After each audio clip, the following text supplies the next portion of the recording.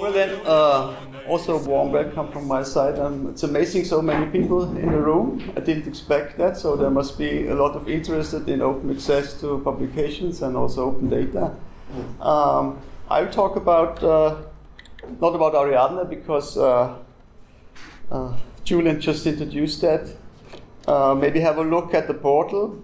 Uh, do a little bit of research. Uh, can easily find that by going through first to our website, Ariadne Infrastructure, and then you have the link to the portal and do a bit of searching and uh, have a, an impression of what it looks like.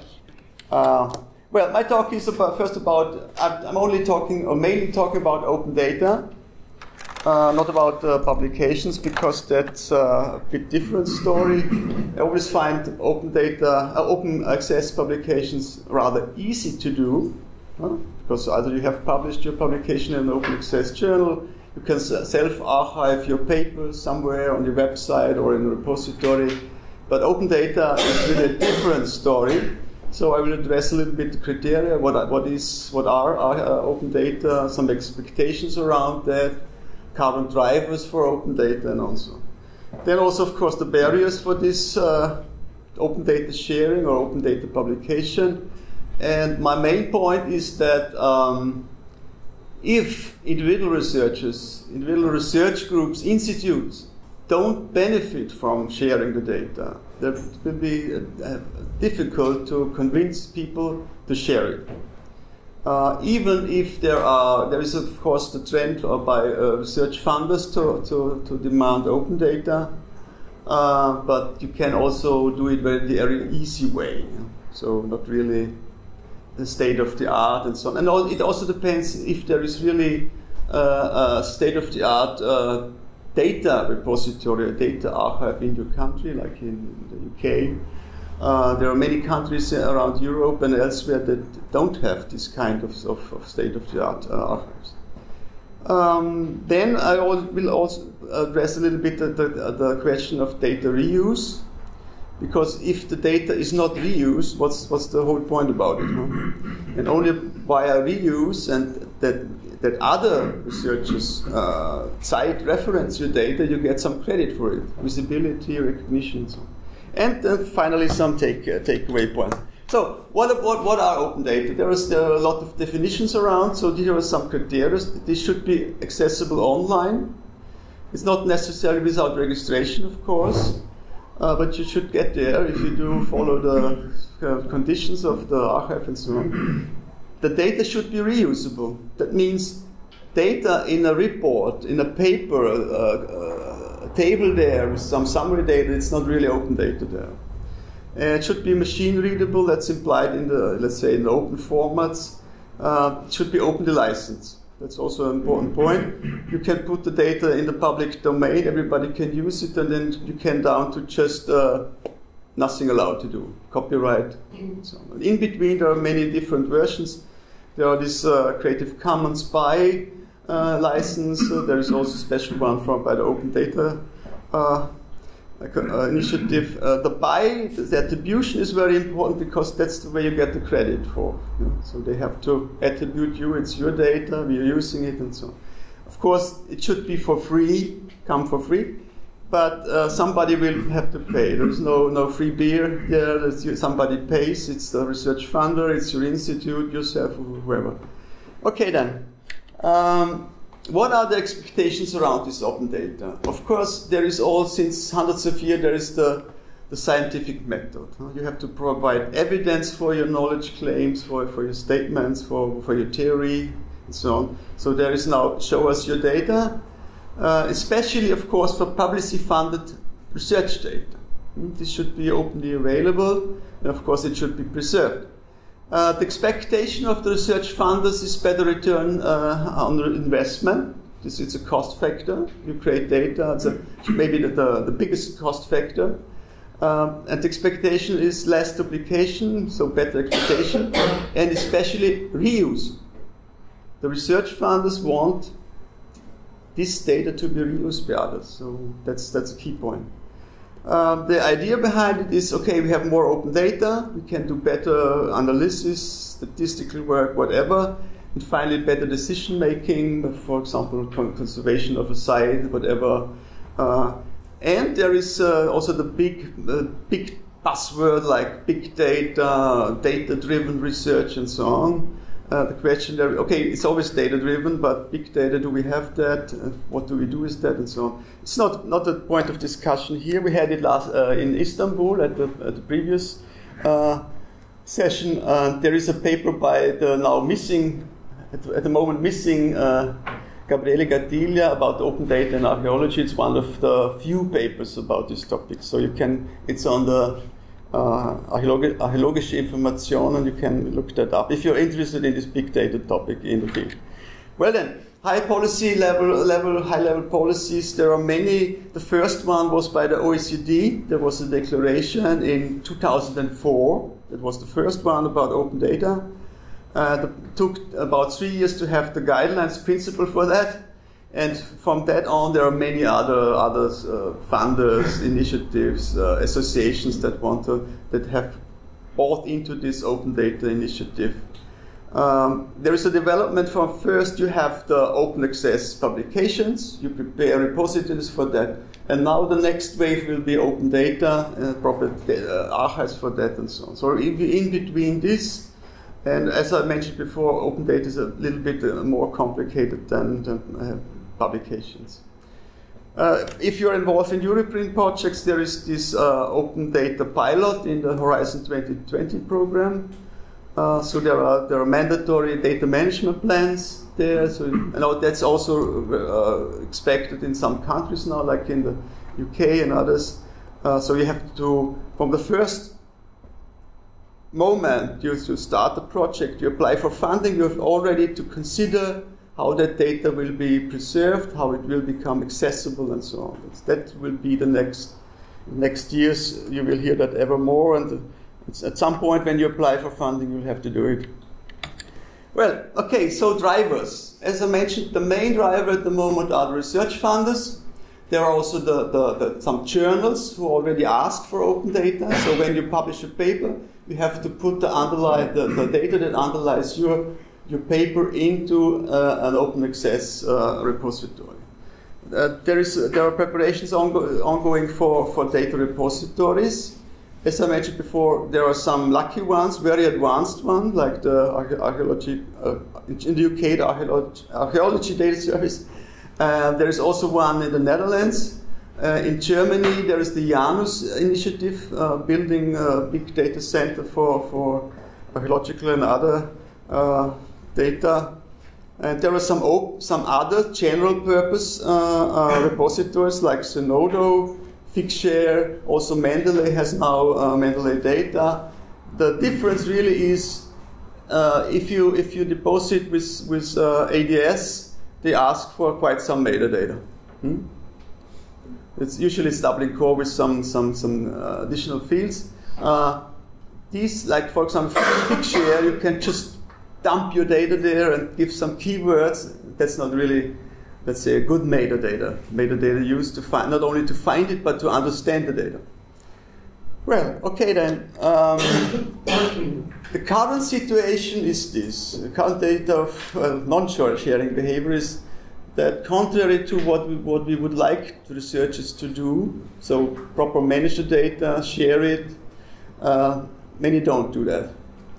Uh, there are representative surveys, I wish I've show some figures afterwards, that uh, show that most data remains locked away. It's on personal computers, on, on university servers that are with restricted access only for some people involved in the project, and so on. Um, well, it's not considered that this data that usually sticks, stays there on these servers for, for years and then maybe it's lost uh, would be would be very very useful for other researchers to combine with own data, maybe do different things with their data. And, so. and a matter of fact of this uh, representative service is that uh, about maybe eight percent of researchers sometimes deposit data in the community open data repository. Uh, here are some figures. For example, this is from 2009, so this is uh, six, seven years ago. But 2002, uh, 1,000 and 2,000 respondents from different fields, and you can see here where do you usually store your data for future use.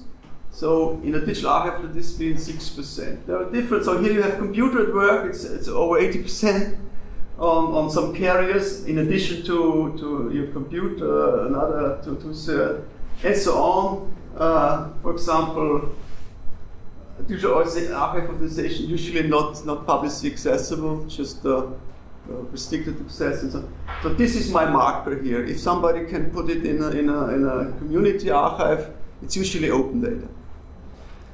Well, another one from the Science Journal 2011, so more recent, 1,700 responses, again, different discipline, uh, more from the natural sciences. So where you do you uh, have most of your data for future research? Again, here, community repository, about 8%. In our lab, 50%. University server, as I said, usually not accessible, about 40% and so on. This is the typical figure. Uh, we did a survey in, in Ariadne, an online survey, and got these figures, which look much better. For example, here there is a national data archive. Usually, it's, it's accessible. Uh, many, almost on most projects, or in many projects, people claim that they do it very often, sometimes. So it's more. The difficulty here is that it's the definition of data is very broad. Some people understand data as the data they, they present in, in, in a paper. It's supplementary material. It can be really the raw data in a repository and so on. And the other point is that in the surveys, uh, a lot of people from the UK and also from Netherlands participated, and they have these open uh, data archives, and it's mandatory to put it there. So we have uh, very good figures, but it's not really, let's say, representative. But the other point is if you have such data archives in your country, and if it's mandatory to put there, many more data will, will, will, will flow into it. Good. Uh, barriers.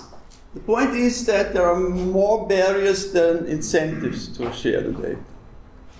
Um, the priority, of course, is the, is the published paper. You will get, at the moment, rather little academic reward, academic reward for, for developing, sharing data sets.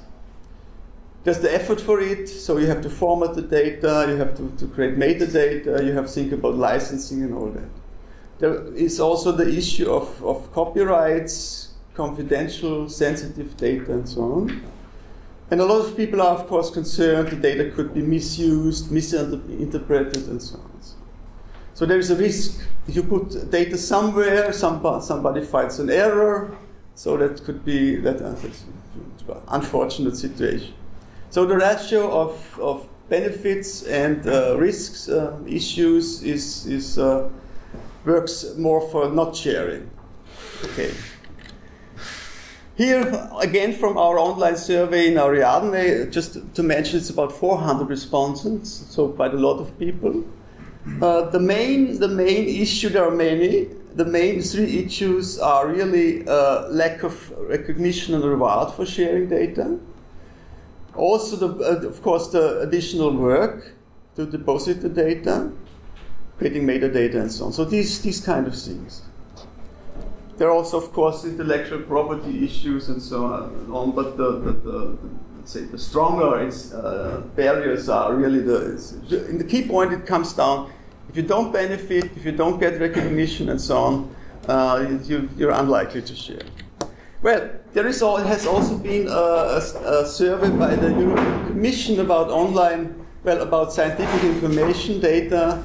And here are again some some some barriers mentioned. A, a bit different than the one I addressed before. It's more let's say on the strategic level for, for open data sharing. But again, lack of incentives comes up here again as the main barrier. And the key message from this is uh, we really need to think about clear benefits of sharing. So that will be the, the main topic of, of, the remainder of my presentation here.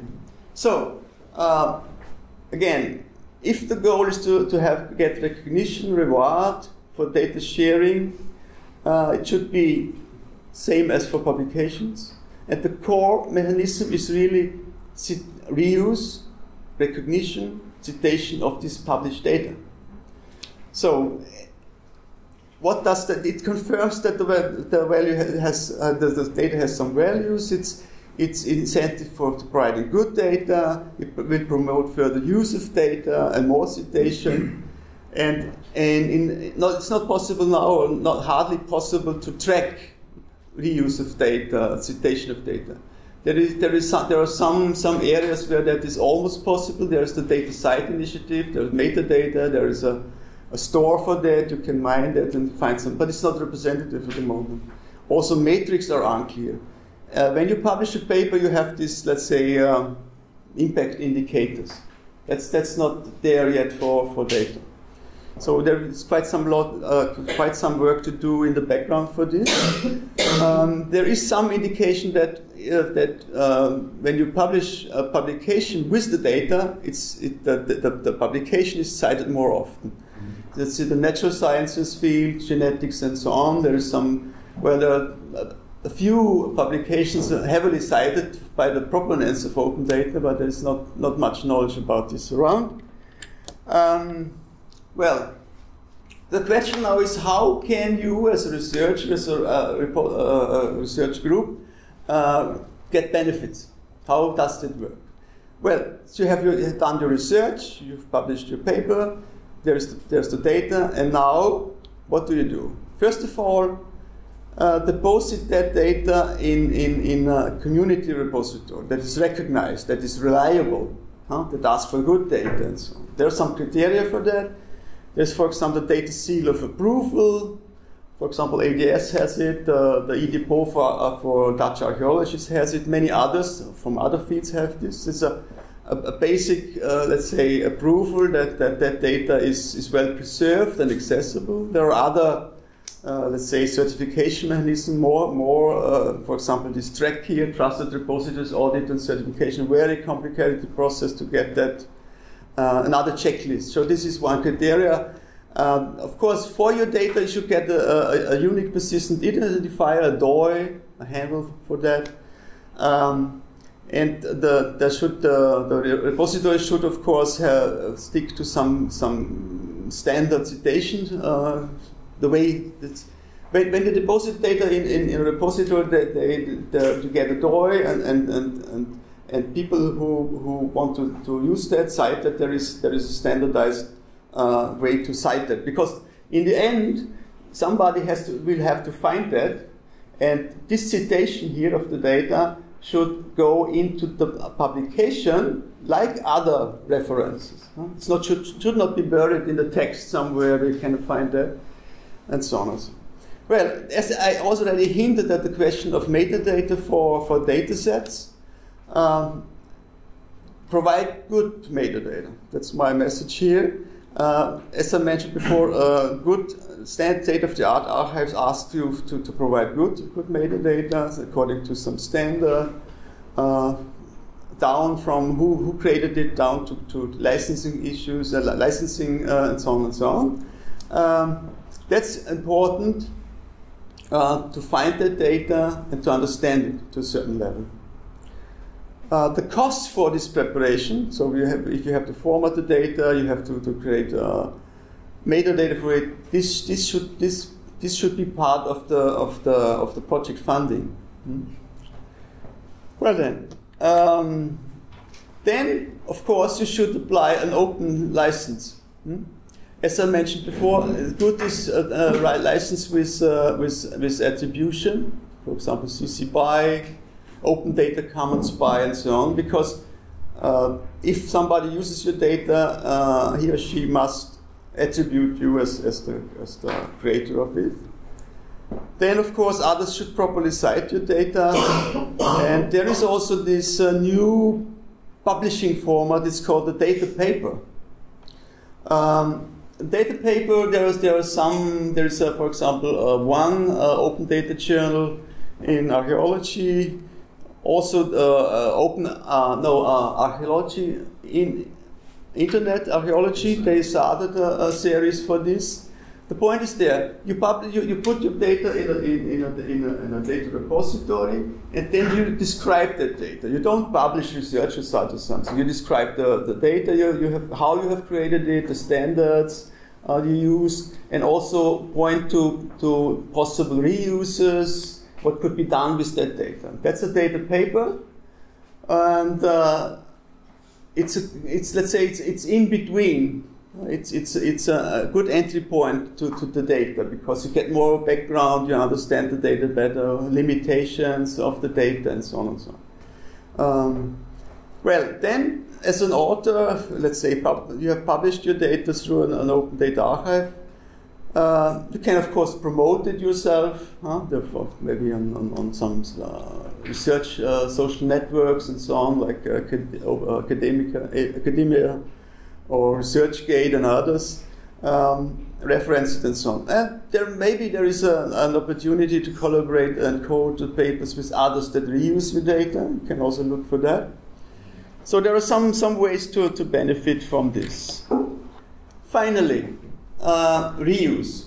Uh, I mentioned already at the beginning, research funders want to see reuse of the data because that that gives more return on investment for, for, for this data creation and so on and so on. But if there is no reuse, no citation of your data, there is also no recognition and reward. Of course, you may be, may be recognized in your, in your group because, one point, uh, researchers and also, of course, archaeologists share a lot of data, but only with close colleagues within projects uh, working together. Uh, open data means you put your data in a repository and everybody can get to the data, can use it, attribute you as an author, cite you, and so on. That's a big difference because in a, in a working relationship with others, you, you have trust yeah, that, that your, your, your data is, is not misused, that it's not misinterpreted, and so on. If you put it in, a, in an open data archive, people from all of the world can come and say, okay, let's do something with that data, do something, and of course cite it and, and attribute and so on. Big difference. So uh, there are very few studies on reuse of, of data. There are some, uh, I mentioned before already, like this Piwowar Vision about genomics data that show that, that data is reused. Uh, more often when it's, of course, open and it's related to publications and so on. There's one, one study, it's from the DIPIR project, um, include, including archaeologists and so, zoologists, um, that shows, um, based on, on two dozen interviews with, with archaeologists, the key point is um, archaeologists, they are looking, when they're looking for, there's some data they could use. First, they look, is there sufficient contextual information? Do I really understand that data? Um, then they ask how is how has the data been collected. Huh? Um, they also there are also criteria like for example, okay, what, what's the background of the researchers, and of course also good practices of the data repository. If you put data in, in uh, if you deposit it at ADS, you, you, you know there is a there is a proper process behind that, everything well done. If you put it in, let's say, Figshare, you have have whatever no real background, no context, no, nothing. Well, and the big question here is uh, if more people, more archaeologists share the data, will we have more reuse? So we have no, no evidence for that at the moment. So really uh, get the process started. So more, more data is available, more, maybe more reuse, and more benefit from that for the, for the researcher and for the discipline. Because the idea is more data is there, you have more data to work with, come up with new ideas, new conclusions, and so on. Well, finally, take points, uh, takeaway points. Um, one point is uh, for researchers. So, uh, recommendation is to publish your, your data open access. Um, what to do? Really recognize others who do it uh, give recognition and really cite the data if it's useful and so on. research institutes, that's the point, we should reward researchers to do it. We should not put barriers into their way. This is also about changing mindset. Not only about talking about open access, open data, you really uh, need to, to walk the talk. Um, and also, of course, uh, offer skills development support for this. Data archives, uh, we mentioned Ariadne. Uh, data archives are, are major, uh, actually key components of research infrastructure. Because what Ariadne is, is, is doing is this. We have uh, data archive repositories in countries or in institutes, and Ariadne is has built the infrastructure to commonly describe this data according to common standards, models, and then allow for cross-searching across Europe data in, in, in different countries, in different repositories, also institutional repositories and so on. But first, you, you have to get the data into that, into these archives. well then, uh, and these infrastructure elements, so these archives really need to be sustained. Huh? There is, there's a cost factor for this, of course. And they are also they also should demonstrate usage impact. So actually, repositories and researchers, researchers and repositories, they are partners in this game. So you, you deposit your data in, in a state-of-the-art archive uh, that is properly preserved, curated, then it's, it's, it's accessed and reused, and then you are cited. So this is the, the circle around that. Finally, research funders ever more ask for open data, and you can ask back, uh, do you give me money for doing the work? Huh? So when, when you apply for, for funding for a project, you put in already the cost for creating, from formatting it, creating metadata, and, and, and depositing it in a, in, a, in a repository, which, which also comes with a cost factor, of course. And that should be paid from your funding, from the project funding. So, in, in, in for all of these uh, well, stakeholders, the key point is it's not about data management plans. Data management plans to comply with these policies of open access and so on uh, it's about really uh, making the data part of the scholarly record. It should be persistent, it should be citable, and rewarded. And uh, actually, as I mentioned, we really need to, to demonstrate tangible benefits of the sharing, because otherwise we will not create the momentum for it. Well then, at the end, this presentation will be available online on, on different channels, on the website, on, on, on what, but where do we put it, uh, Kate? We put it on SlideShare, everywhere. So you really can get this. And here I put some 50 references. If you're interested in the topic, can, okay, sorry. You can go through it, find some, some interesting stuff. Actually, everything I mentioned, like this, for example, this reuse study for, for genomics data, it's here, or DataCite can every, find everything. It's a, a starting point to, to let's say, uh, to get into the topic. So that's it for the moment. And uh, I suggest that we uh, always allow for two or three questions because otherwise it will be presentation after presentation. The good point is at the end of, of, of our session we have 45 minutes granted for discussion. So at the end, I hope we can really create a lively discussion about different open questions and so on. So if there are any questions, please. Ask now.